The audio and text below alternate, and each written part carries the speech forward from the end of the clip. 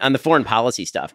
Um, so the the questions that I have Mhm. with regard to to Biden on foreign policy, uh, very very simple question: Mhm. Do you think that the situation in the Middle East is better now than it was under Donald Trump? Mm, uh, probably. Um, that's a hard one. The factors Why? that I'm making right now are like obviously you've got the Israel-Palestinian war that's going on right now, which is kind of bad. But like broadly speaking, I'm not sure how much that affects the Middle East as much as like the collapse of Syria. 2013 Syrian civil war sent millions of immigrants throughout all of Europe, Which that was under um, which was under Obama and continued Right. under Trump. Trump didn't do anything to alleviate any of the Syrian civil war. Um, in, in terms, why did Syria end up as a preserve of Russia again? how did Syria end up as a preserve of Russia? yes, why did it end up being essentially a client state of Russia? Um, I know that Putin enjoys access to the ports down there. Um, I don't know. You It tell I mean, the reason is because Barack Obama suggested that there was a red line that would be drawn in the face of chemical weapons use. Bashar Assad then used chemical Sure. weapons in Syria, and Barack Obama was un- unwilling to then essentially create consequences for Syria in the form of any sort of Western strike. And so instead, he outsourced it to Russia. This is 2013, 2014. Sure. Right, Do you so think the- there might have been some hesitancy after like seeing how Libya ended up that maybe us like Who, intervening? who was hardcore- president during Libya? Uh, Obama? Yeah, I mean, like, so the, the, Sure, but, the- but what, what does that have to do with anything? Though I'm just I mean, saying no, the- like there might have been like a mistake the learned. point that I'm making like, is that actually the Middle East, I mean, just historically speaking, was historically good under Donald Trump. I mean, it's very difficult to make the case that either before or after Trump were better than during Donald Trump. Was Like, it this is I an mean, of the yes. Syrian. I don't think that, that Trump contributed to the Syrian situation in improving much. Um, I Well, I mean, he, wrecked a lot ISIS. of. He did wreck ISIS, which was in the. I mean, was ISIS had been getting wrecked by the Kurds in Iraq, by every single person, by uh, Assad's there's army, by Putin, by Turkey. Literally, everybody was fighting against ISIS at that point. The, the, the, there's a spike in violence, and then the Mhm. the Trump. I mean, you get credit for when you're president, presumably. I mean, things got better with ISIS under Trump. I mean, yeah, they did. I mean, Things, got worse were- with ISIS under Obama. they, for sure. He called them the JV that- squad, Sure. and then they became not the JV squad. Yeah, but I don't know if ISIS is originating in Syria um, and uh, Baghdadi and all of the growth of that is necessarily Obama's fault. I know that we like to say that Obama created ISIS. I don't know if you say that, but I've heard that saying a lot. I think that's a little bit simplistic.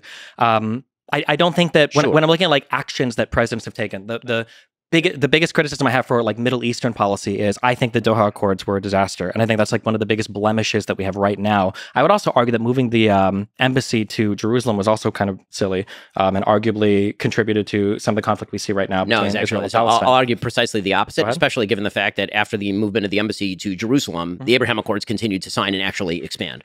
And that if Donald Trump had been elected, I have no doubt in my mind that Saudi Arabia would now be a part of the Abraham Accords. In fact, that was basically pre negotiated. Uh, and then when Joe Biden took office, Joe Biden took a very anti Saudi stance on a wide variety of issues. The, the biggest single effect in the Middle East of Joe Biden's presidency, and again, I agree with you that not every foreign policy issue can be laid at the hands of a president. Joe Biden's main approach to the Middle East was very similar to the Obama approach, which is why the Middle East was chaotic under Obama and chaotic under Biden. And that was to alienate allies like Saudi Arabia and Israel, and instead to try to make common cause or cut deals with Iran. What that did is incentivize terrorism from Iran. What we're watching in the Middle East is Iran attempting to use every one of its terror proxies in the Middle East, and it was specifically launched in an attempt to avoid what Biden actually was trying to do, which was good, which was after two years of failure with Saudi Arabia, try to bring them into the Abraham Accords. Right, that was what was burgeoning at the end of la- at the end of last year, and Iran saw that, and Iran decided that they were going to throw a grenade into the middle of those negotiations Mhm. by essentially activating Hamas. Hamas activates, Hamas commits October 7th. Israel, as a sovereign nation state, has to respond to the murder of 1,200 of its citizens and the taken kidnapping of, of 240. Israel has to do that not only to go after its own hostages and try to restore them, but also to reestablish military deterrence in the most violent region of the world. Hezbollah gets active on Israel's northern border. Hezbollah is an Iranian proxy. They get active on the northern border.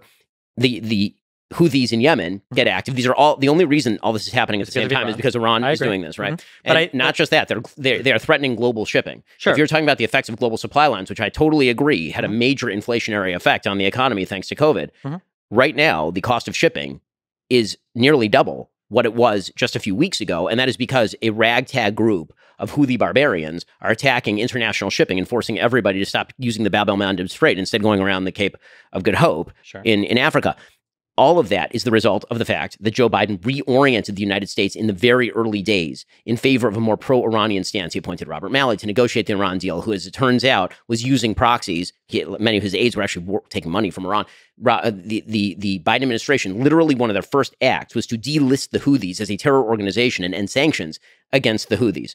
These are all moves that, that Biden made very early on. They were disastrous moves. But when it comes to domestic policy, I think he hasn't been nearly as damaging on domestic policy as he has been on foreign policy. Sure, sure. So just on a couple of Middle Eastern things. So one of the big things that threw the Middle East into disaster was what we are all traumatized by it now was the Iraq invasion, which happened under a Republican president. Sure. You agree with that, right? Sure. Yes. The, the deposition of Saddam Hussein and everything that followed after probably contributed more to the growth of ISIS and the destabilization of that entire region, probably more than anything else. I think that under pr- prior to Bush, um, for Clinton, and even at the beginning of Bush's presidency, we were on some kind of road to normalcy um, with Iran, which I think has to happen, whether we like them or not, um, until Bush, for whatever reason, decides to throw Iran into the axis of evil. I need some evidence that we were on a road to normalcy with Iran in the 1990s. We do in the wait what that we were on a road to normalcy with Iran in the 1990s. My I understanding is that yeah, from the late 90s and prior to the axis of evil uh, labeling of Iran, that there was going to be some path forward to where we could start to normalize relationships with them. I, I find that very difficult to believe, and I don't see a lot of evidence. I mean, we can just disagree on that. Sure. But, okay. But yeah. Sure. The, we can disagree on that, but I know that the, once the, they got way, the, the, the, yeah. after effects. Just mm-hmm. quick note: mm-hmm. the after effect of the Iraq War that was the most devastating was the increase in power of Iran. I agree. Yeah, because of the destabilization yes. of Iraq and Iraq not having a uh, a government there that was functional for at least a decade, and was in fact uh, a Sunni government. Right? Originally, it was a Sunni government disbanding the, the Sunni army was one of the worst things that the Bush Probably, administration yeah, did. Banning all the former Ba'ath parties, sectarian, yes. yeah, all horrible under a Republican president. Um, but don't disagree that the uh, yeah that that probably contributed more to ISIS, uh, to the growth of power in Iran, maybe even to the destabilization of Syria, probably more than anything that Obama did. Um, also, the uh, when, when, we look at Iran funding people in the region, I don't disagree with that as well. I think Iran is the number one instigator of bad guy things right now in the Middle East. Iran, um, the IRGC, I supported when Donald Trump killed Soleimani. I think that was a great thing. Um, I, I think that Iran is a major problem. However, I don't know if the path forward is constantly being a belligerent to Iran or trying to figure out some road to normalcy. I don't know if the collapse of Iran um, or the destruction of that country, considering how unpopular the Ayatollah even is there. Like the citizens of Iran, I don't think are big supporters of the government there.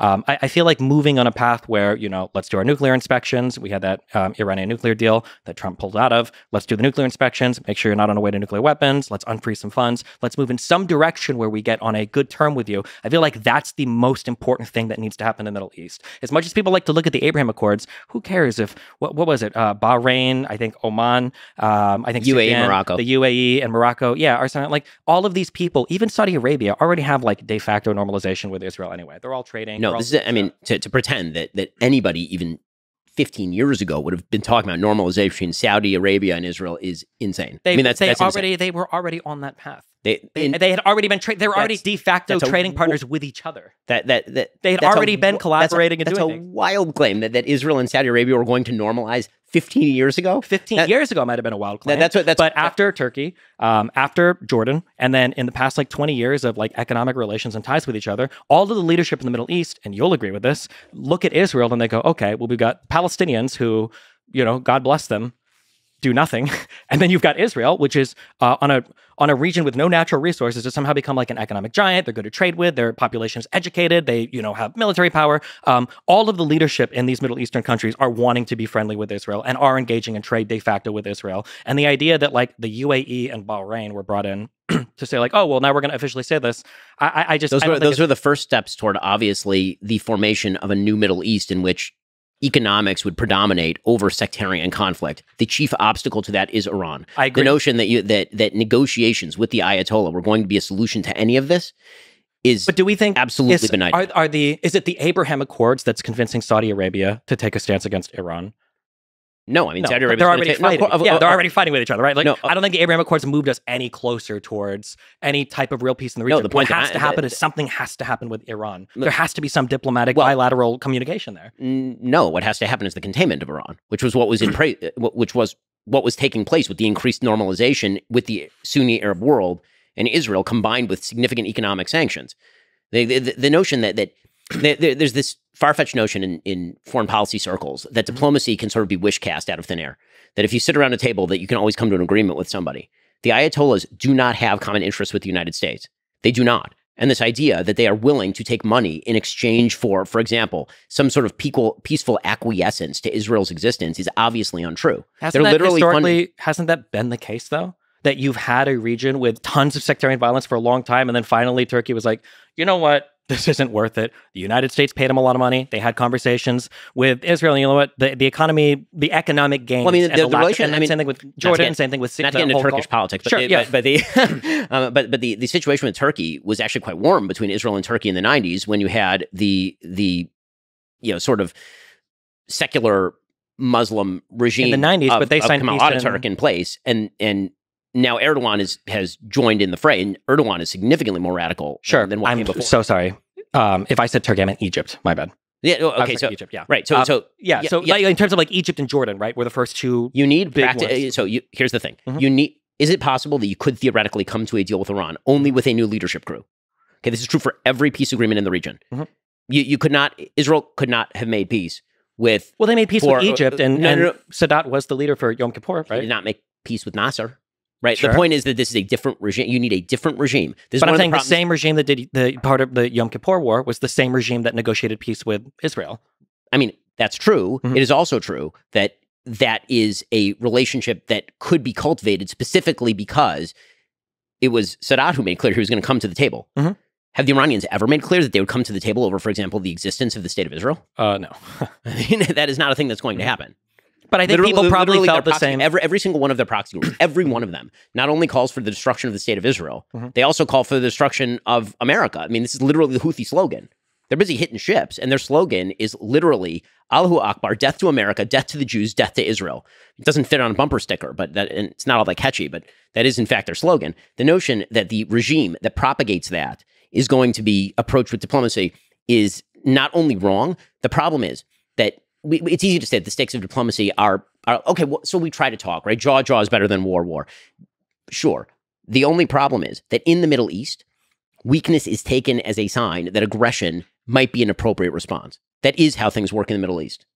And the fact that Barack, uh, that that Joe Biden rather, came into office with an orientation toward continuing the Biden, the, the Obama policies in Iran has led to conflagrations, these sort of brush fires breaking out everywhere that Iran has borders with either the West or Israel or both, right? Any place that's happening is leading to brush fires because, again, the logic of violence in the Middle East is not quite the logic of violence in other places in the world. By the way, I think the logic of violence in the Middle East is actually closer to what most international politics looks like than we than we wish that it were. I mean, I think that's part of what's happening in Ukraine as well. so you Right, think which, that which brings for- me, by the way, here's my question about Ukraine. Uh, Sure. I mean Well, to just real quick, skip and then you can yeah, answer go this for one it. So you think that for Iran, right, a country that has been sanctioned for God knows how many years now, you think that for Iran, just continuing to sanction them and contain them is an effective way, is more effective than trying to engage them in bilateral or multilateral peace talks? Yes, So- one hundred percent. Okay. And the proof is in the pudding. Before we go to Ukraine, can I ask about Israel? So you're both mostly in agreement, but what is Well, I don't Israel? know if I'd say that. but- Okay, but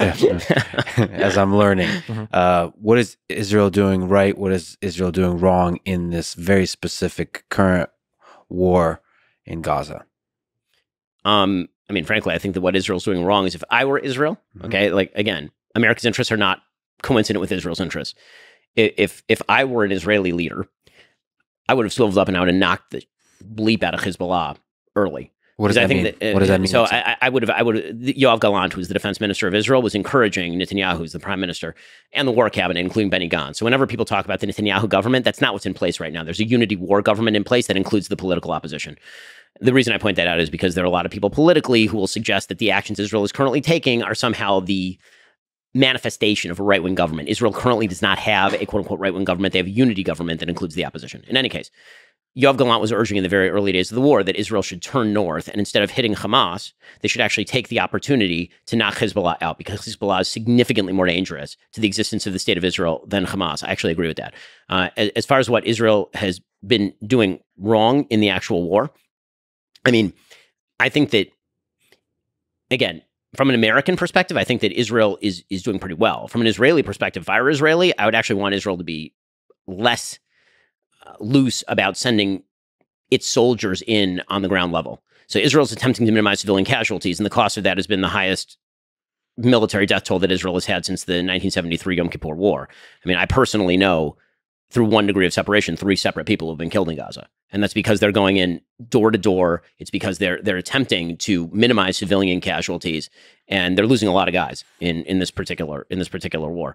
Um, you know, the, the the problem that Israel has had, historically speaking, is that Israel got very complacent about its own security situation. They believed the technology was going to somehow correct for the hatred on the other side of the wall that very okay so our people have to live underground for two weeks at a time while some rockets fall but at least it's not a war and that complacence you know bred what happened on october 7th so the, to, to me what israel did wrong was years and years and years of complacence and belief in an oslo system that is at root a failure because you cannot make a peace agreement with people who do not want to make peace with you. Uh, so that, that that's what i think israel is doing wrong. I, I have a feeling there's going to be wide divergence on this point. Um maybe. Uh, so, uh, in terms of broadly speaking, um, I generally oppose settlement expansion. Is a thing that Israel does incorrectly that I think is kind of like provocative to at least all the Palestinians uh, in the West Bank, and it probably energizes hatred in the uh, Gaza Strip for them as well. In terms of conducting, uh, in terms of conducting warfare, uh, the one thing that I always say to everybody, uh, especially Americans, is you can't evaluate things from an American perspective. It's very stupid. It happened a lot with Ukraine, where people like, oh, well, didn't they work with the Nazis and like weren't the Soviets the good guys? And it's like, well, in in other parts of the world, it's not quite as simple. Um, and I think the same is true for Israel Palestine, that a lot of Americans will analyze the conflict as just being one between only Israel and Palestine, which it's not. It's a conflict between Israel and then Palestine, Hezbollah, the Houthis, and Iran. Right now it is. Um, I think that the, however, one area where I'll break with Ben is, is I think that minimizing civilian casualties and everything is very, very, very important. I think on the Israeli side, I don't think it's important so that the U.S. will stay with them because I think the U.S. is probably going to stick with Israel as long as they don't do anything crazy. And I don't even think it matters for the international community. It doesn't definitely doesn't matter for the UN because Jesus Christ.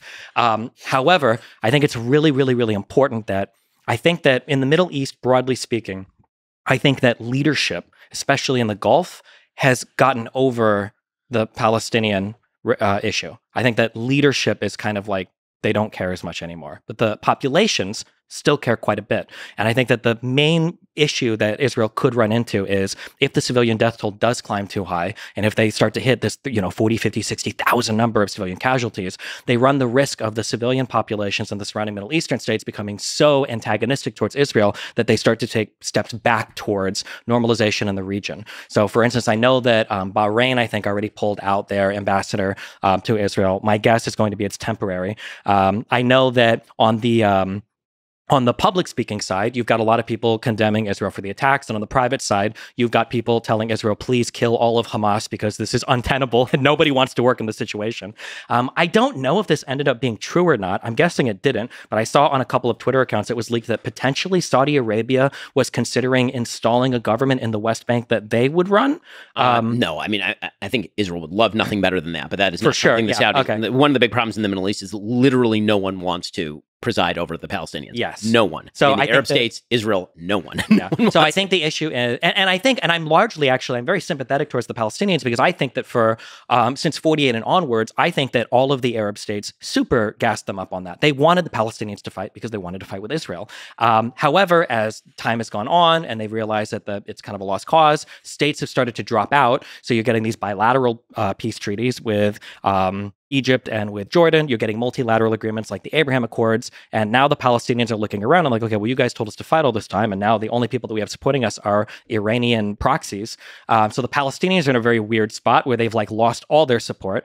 Um, yeah, I think that I think that Israel, what I would say to be quote unquote critical of Israel is Israel needs to take strong steps towards peace that probably involves them enduring some undue hardship. So not the October 7th attacks because Jesus, that's way too much, but you know, other types of, uh, you know, attacks that they might have to deal with that might cause some civilians to die that they don't come out over the top with and, and retaliate with if there's ever going to be peace in that region. However, the, another thing that I've always said is a huge problem between Israel and Palestine is I think that both sides think that if they continue to fight, it will be good for them. But the problem is one side is delusional.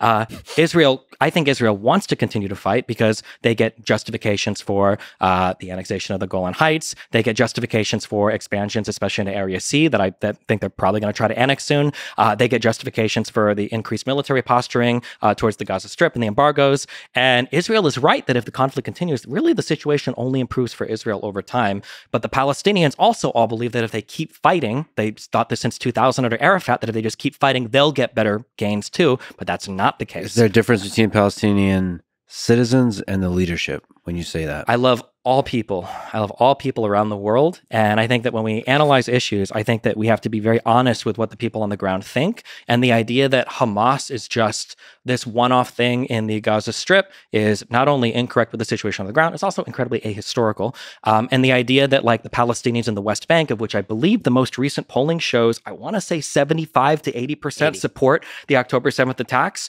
Um, Palestinians in general want to fight in violent conflict with Israel. That's not just the position of the government. That's not just people. There's a reason why Abbas doesn't want to do uh, elections in the West Bank.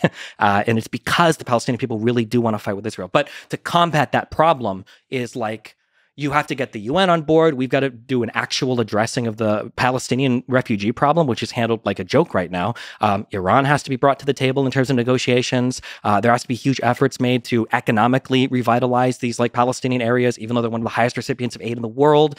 Um, you, you have to do something about the embargo and the blockade in the Gaza Strip, which isn't just maintained by Israel, it's also maintained by Egypt. You should ask why. Um, yeah, there's a lot of things that have to happen to fix that problem. But the reality is, is I don't think Israel really wants to because they get to continue their expansion into the West Bank. And I don't think anybody around the world really cares that much. So- in a month, we won't be talking about I I will argue with that. The idea that Israel does not want to end the conflict is belied by the history of what just happened with the Gaza Strip. So, when we talk about settlements, for example, Israel did have settlements inside the Gaza Strip. There were 8,000 Jews who were living inside the Gaza Strip in Gush Katif uh, up until 2005. They, they, they withdrew all of those people. I mean, took them literally out of their homes, uh, and the result was not the burgeoning of a of a better attitude toward the state of Israel with regard to, for example, you know, the the Palestinian population in Gaza. In fact, it was more radical in Gaza than it was in the West Bank. Uh, the the the result was obviously the election of Hamas, the the October seventh attacks, in which unfortunately many civilians took place uh, took part in the October seventh attacks. There's video of people rushing who are civilians and dressed in civilian clothing into uh, Israeli Careful, villages. It's not always the same thing. Well, no, no, that is that is one hundred percent true, obviously. Uh, and when it comes to you know Area C and Israel's you know supposed deep and abiding desire for territorial expansion in Area C, Area C. So for for those who are not familiar with the Oslo Accords, and again, this is getting very abstruse, but the Oslo Accords are broken down into three areas of the West Bank. Area A is under full Palestinian control. That'd be like Jenin and Nablus, the, the major cities, for example. There's Area B, which is mixed Israeli Palestinian control, where Israel provides uh, some level of military security and control. Uh, and then there's Area C. And Area C was like to be decided later. It was left up for possible concessions to the Palestinian Authority if the Oslo Accords had moved forward. Those are disputed territories. There is building taking place in areas by both, actually, no one talks about this, but by, by Palestinians as well as Israelis. Uh, and the the you know question as to whether if Israel stopped building, there have been many settlement freezes in the past, including some undertaken by Netanyahu. Uh, and and it actually has not done one iota of good in moving the ball forward in terms of actual negotiations. Again, the, the biggest problem is that the leadership for Palestinians has spent every day since really 67. It's not even 48 because after 40 between 48 and 67 Jordan was in charge of the West Bank and Egypt was in charge of the Gaza Strip and at no point did either of those powers say hey maybe we ought to hand this over to an independent Palestinian state which was originally the division that was that was promoted by the UN partition plan in 47 the, because of that uh, the the leadership post 67 and really starting in 64 the Palestine Liberation Organization was founded in 64 and it called for the liberation of the land in 64 they had the West Bank and they had the Gaza Strip. So they're talking about Tel Aviv. Uh, when it was founded in in 64, the basic idea, as you know, kind of indicated by that, was Israel will not exist, and that was a promise that's been made by pretty much every Palestinian leader in Arabic to the people that they are talking to. Yasser Arafat famously would do this sort of thing. He'd speak in English and talk about how he wanted a two-state solution, and then he'd go back to his own people and say, "This is a Trojan horse," and we're going. to If Israel could, if you think that Israeli parents want to send their kids at the age of 18 to go and monitor Jenin and Nablus and be in in Khan Yunis, you're out of your mind. You're out of your mind. Israelis do not want that. In fact, Israelis didn't want that so much that they allowed rockets to fall in their cities for full on 18 years in order to avoid sending soldiers en masse back into the Gaza Strip. True, but I think Israel does want to continue to expand settlements into the West Bank, right? They want to continue to build. They want to have The- okay, all so- Jerusalem, East Jerusalem as well. Well, I mean, East Jerusalem has already been annexed. So East Jerusalem is, according to Israel, a part of Israel. That's not a settlement. Sure. Okay, so there, there's that. With, with regard to you know, does Israel have an interest in expanding settlements in the West Bank? Why, why would they not until there's a peace partner? Sure, that's Meaning, what I mean. for- but I'm saying as long as the conflict continues, like because even when you No, talk but, you, about what, the, you- but no, but your suggestion is that they're incentivizing the conflict to continue so they can grab more land. Well, no, let me What be I- very clear. I don't Yeah. think there's like a plan. Like, so some people say, for instance, uh, they'll take that one quote from Netanyahu and they'll try to say that like he was funding the people in the Gaza Strip by allowing Qatari money to come in, even though he was actually speaking in opposition to Abbas, allowing the Gaza Strip to fall for Netanyahu to clear it out for him and they give it back, et cetera, et cetera. I'm not saying, I'm not claiming those theories. I'm just saying that I think that Israel will take a relatively neutral stance towards conflict in, enduring because as long as the conflict endures and as long as the uh, settlements can expand, I think that benefits. I think that ultimately benefits Israel. The, the, I think there would be very, let, us put it this way. Mm-hmm. If suddenly there arose among the Palestinians a deep and abiding desire for peace, approved by a vast majority of the population with serious security guarantees, Mhm. I think you'd be very hard pressed to find Israelis who would not be willing to at least consider that in return like for we're not like- expanding bathrooms in Efrat. I kind of uh, ag- I would have agreed with you on October 6th. I think we're probably a year or two Oh, no, away no. from that right now. no, though. no, but, Yeah. but no, the, the point I'm making is that Israelis now realize that the entire peace process was a sham, meaning the people who are on the other side of the table were using it as a Trojan horse in the first place. The, the death of Oslo is not the death of Israeli hopefulness, it's the death of the illusion that on the other side of the table was anyone worth bargaining with.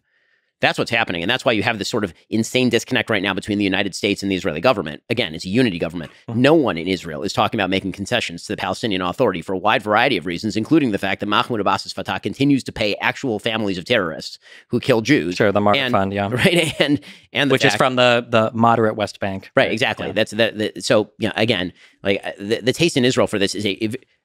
Even the people who are the, the Chilonim, right? Those are the most secular people in Israel, Mm-hmm. which was, by the way, the, the place that was attacked on October 7th. I mean, what people should understand is that October 7th was not an attack against settlements in the West Bank. It was an attack on peace villages that were essentially disarmed. And many of these people who were killed were peace activists who were literally trying to work with people in Gaza to get them jobs. I mean, it's just, Mhm. it's it's mind boggling. That's Which why is- you've had this ground shift in Israel. The next 20 years in Israel is going to be about security and economic development, period. End of story. Everything else goes second, third place. And I will say I agree uh, essentially with everything you're saying. Um, not to loop back on another topic, but this is one of the reasons then why I was so critical. I don't want to say critical, but like kind of nonchalant about the Abraham Accords because they didn't address anything with the Palestinians whatsoever. They brought No, in countries that weren't super relevant to the conflict. They didn't bring in Qatar, which is where a lot of the money and support for the Gaza Strip comes from. They didn't involve Iran at all. They involved bilateral. No, but it totally changed the mentality. And this is why what, what I'm seeing right now, this is why, listen, I'm, I think Sure. that, that Biden has done better than I certainly expected him to do in terms of support for Israel. Like Obama was way less supportive of Israel For than sure. Biden by every metric. Mhm. With that said, the rhetoric that he's been using recently and that Blinken have been using recently about Israel needs to make painful concessions for peace, Israel ne- recentering Mhm. this issue at the center of relations in the Middle East is doomed to failure. The magic, magic is a strong word. The the benefit of the Abraham Accords was proof of what you're saying, which is true, which is that all of these surrounding countries, in reality, have abandoned the idea that there's a centrality to the Palestinian Israeli conflict. That is not the central conflict in the Middle East. Mhm. And by the way, one of the reasons it's not the central conflict in the Middle East is because, actually, ironically, because of the rise of Iran, right? It, it's it's Sunni states that are largely signing up with Israel because they're realizing they need some sort of counterweight to a, a burgeoning nuclear power in Iran. Can we talk about Ukraine? Sure. you have a not? disagreement with you uh, with with what uh, Destiny said. my my main problem with Biden's policy with regard to Ukraine is that he outsourced the end goal of the war to Zelensky early on. Now, that might make sense if that goal were something that he was willing to fund to the point of achievement, uh, or if Zelensky could have achieved it on his own. But right now, and this has been true since pretty early on in the war, this point Henry Kissinger made, uh, this that that pretty early on in the war it was very clear that, for example, Crimea was going nowhere. The Russians had control of Crimea, barring the United States giving permission to fly F 16s over Crimea. Nothing was going to change over there. The same thing was true in most of the Donbass, right, in Luhansk and Donetsk. That, that was not going to change. Zelensky's stated goal, and you understand it, he's the leader of Ukraine, right, is, is that there was a predation on his territory in 2014, and that the Russians sent their little green men across the border, and then they took all of these areas. And so he, as the leader of Ukraine, is saying, okay, I want all of that back. Now, the reality is that the US's interests had largely been achieved in the first few months of the war, meaning the revocation of the ability of Russia to take Ukraine and just ingest it. And two, the devastation of, of Russia's military capability. I mean, Russia has just been wrecked. I mean, their military is in serious straits because of the war in Ukraine. From an American perspective, I'm very much pro all of that. I think that we have an interest in Ukraine maintaining a buffer status against uh, a territorially aggressive Russia. I think that the United States does have an interest in degrading the Russian military to the extent that it can't threaten the Baltic states or threaten Kazakhstan or other countries in the region. The problem I have with Biden's strategy is, as always, I think that it's a muddle. And I think muddles tend to end with misperceptions. War tends to break out and maintain because of misperception. Misperception of the other side's strength, the other side's intentions, and, and all of the rest. People misperceive what's going to happen. They say, I'll, I'll cross that line and nothing will happen, right? This is what Putin thought. He thought, I'll cross that line. They'll greet me as a liberator. And because the United States just surrendered in Afghanistan, essentially, they won't do anything. And the West is fragmenting because NATO's fragmenting and all the rest of this. And obviously, he was wrong on, on all of those scores. The problem for, for Biden is that, as with virtually every war, no end line was set.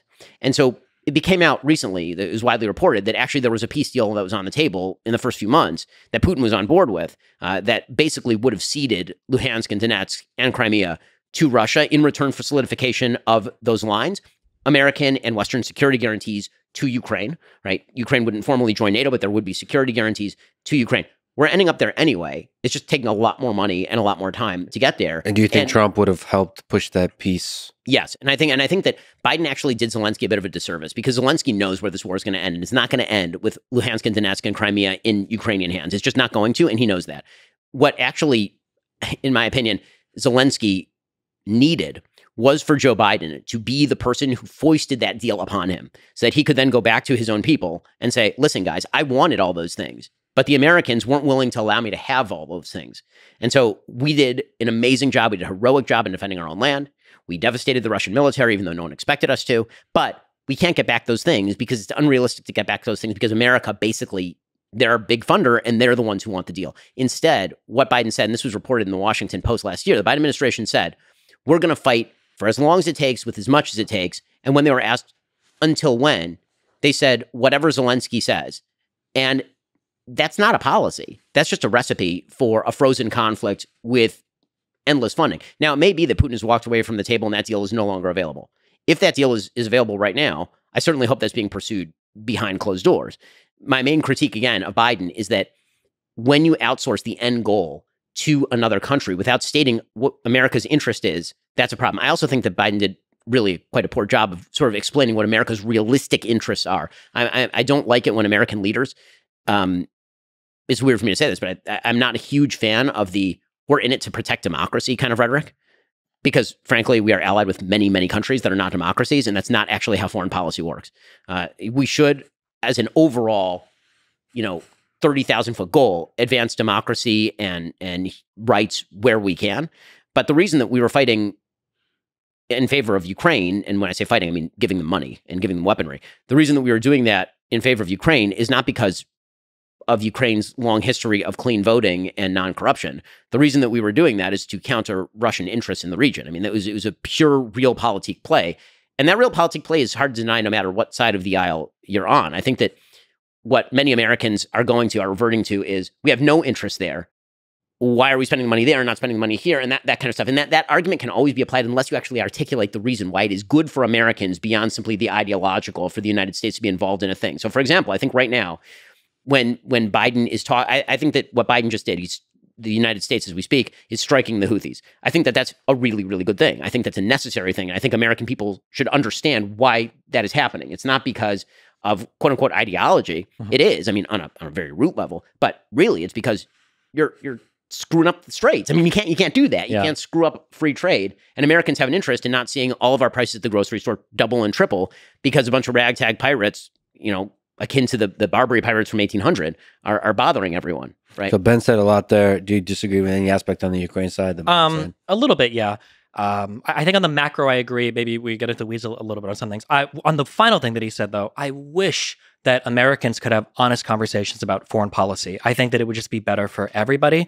Um, I don't know if it's uh, you know Red Scare after the Cold War, where it was like literally you know the behemoths, you know, we're fighting against communism, and we felt like after '91, every single foreign policy decision needs to be able to be explained in like seven words, like he's the bad guy and that's it. Um, I wish we had more honest conversations about uh, what our foreign policy interest is in a particular region, because I don't think most Americans honestly could even even articulate why Israel would be an important ally or why it's important to defend Ukraine against Russia or why should we care about Taiwan at all. I don't know if most Americans could articulate anything there, um, even though they might have very strong opinions about why uh, we ought to be involved in certain conflicts. So I do agree with that. I wish we had more honest conversations about uh, foreign policy. Um, in terms of how Biden has handled Ukraine, my, the things that I liked the most were one, that he was very clear in the beginning about what we wouldn't do. So Biden saying that we're not going to do, um, uh, not a red line, no fly zones over Ukraine. Mm-hmm. We're not going to be deploying troops on the ground in Ukraine. We're not going to be doing a- anything that would have, you know, U.S. soldiers and Russian soldiers crossing swords with each other. That's not going to happen. I like that he made that very clear at the beginning. Um, and I like that he coalition built between NATO and the EU to get people to send uh, funds, training, soldiers, airplanes, and everything to Ukraine. I thought those two things were really good. In terms of basically writing Zelensky a blank check, I would like to hope that Biden and the entire United States learned a lesson from Iraq and Afghanistan that open ended missions with unlimited budgets and no clear goal are like the worst foreign policy decisions you can ever do. They've like defined US foreign policy for the past two or three decades, which is unfortunate, but seems to be the case. Um, my my feeling would be, and this is just a feeling. I don't know if internal cables have leaked that say otherwise. Is the uh, the Biden administration has probably always had a quiet position of at some point there's going to be an off ramp here, and I think even a month or two ago, I think those talks were being leaked. That discussion had begun with Zelensky looking for an off ramp, but publicly, of course, the United States is never going to come out and say we are going to support you guys to fight as much as you want for three months. And then after that, it's no more.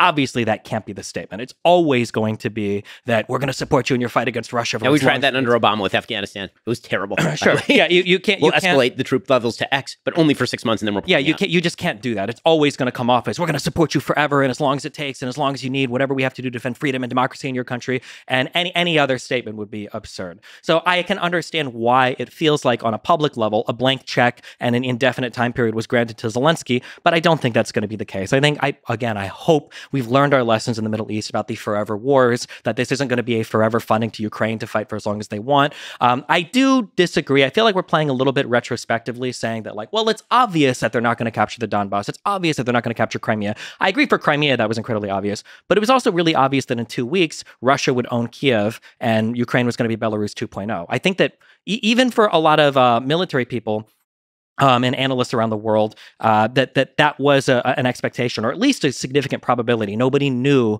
uh, the, phrase that's thrown around now is "paper tiger" that Russia's military was as ill-equipped as they were. So I can understand why, especially if you're Ukraine and if you've repelled an invasion from one of the world's largest armies, why you might feel like, well, fuck it, you know, let's fight for a few months, let's fight for a year, let's see what happens. And I can understand the United States supporting them, but I agree that there has to be some reasonable off ramp where we're not going to fight forever. I think the U.S. Um, State Department has already begun those conversations with Zelensky to look at what that off ramp looks like. Um, but yeah, I'm not too sure. Other than like explicitly stating publicly, like you can only fight until this date.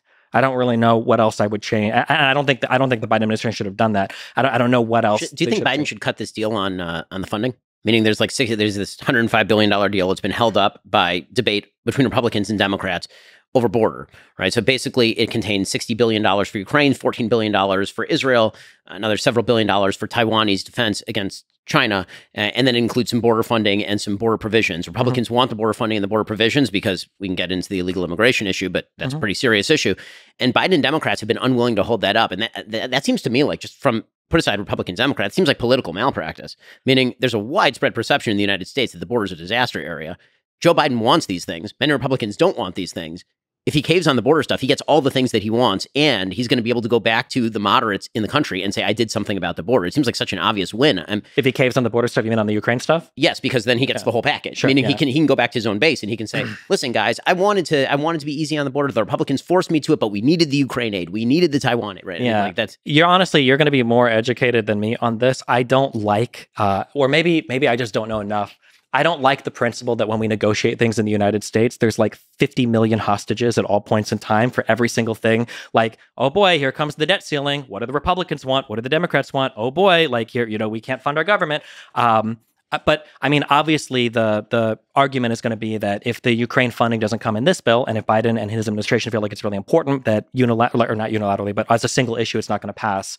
So um, I, I would say that at this point, and I don't know what the conversations look like between the Biden administration and Zelensky. I would say at this point that it's probably fair to start making contingencies on the money that we give to Ukraine. That listen, like this uh, conflict has, you know, waged on now. Like now we need to start looking for potential peace. We can't just write you an unlimited check. So I mean, if those strings are attached, I'd be okay with it. But the broader question of like, is it okay to make this particular piece of legislation with all this funding contingent on uh, the Ukrainian funding? I mean, that just seems to be the way the government works now, unfortunately.